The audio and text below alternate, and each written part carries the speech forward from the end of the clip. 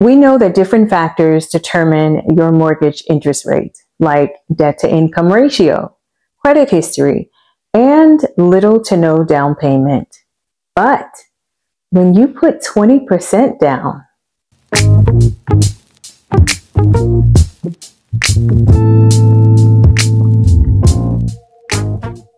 I'm Tonya Stokes, your North Carolina real estate broker. Let me help you find the home of your dreams. Now, I want to give you three reasons why you should put 20% down on a home.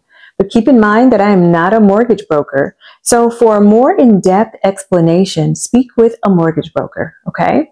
Now, if you don't have one, let's connect and I will point you in the right direction. So here are three reasons why you should put 20 percent down on your next home. Number three, pay off your mortgage faster. Taking out a 15 year mortgage instead of 30 years is one way to pay off your home faster. But the payment for a 15 year mortgage with a low down payment may be very uncomfortable budget wise. Now, if you were to put down 20%, this could make the payment for a 15 or 30 year mortgage more manageable. This could also help you pay off your home sooner and build additional equity faster.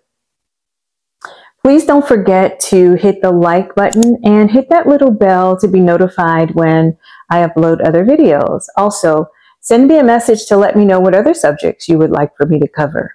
Now, let's move on to reason number two why you should put 20% down on your next home. You could be eligible for a lower interest rate. We know that different factors determine your mortgage interest rate, like debt to income ratio, credit history, and little to no down payment. Basically, high risk applicants, higher interest rate. But when you put down 20% versus 3 to 5%, you tell your lender that you have financial stability and you carry less risk. When your lender has more confidence in your credit score and your capability of paying your mortgage on time, they will be more willing to lend you at a lower mortgage interest rate. And finally, the number one reason, there are many reasons, but for this video, three reasons. The number one reason is no PMI, no private mortgage insurance. Homeowners who put less than 20% down Private mortgage insurance or PMI is an added insurance policy for homeowners that protects the lender if you are unable to pay your mortgage. Now, there are different options for paying PMI. The most common way to pay your PMI is a monthly premium.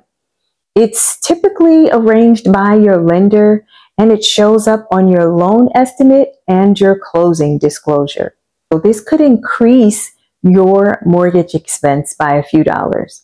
Now, PMI isn't waived until you either have accumulated 20% equity in your home or increasing your home's value. And with an FHA loan, mortgage insurance is for the life of the loan if you are putting less than 10% down. So you would need to refinance an FHA loan to get rid of this expense altogether. Hey, I hope this helps. Remember to consult with your mortgage broker if you need more in-depth information. Now, if you need a referral, let me know. I'm sure together we can help you find the home of your dreams.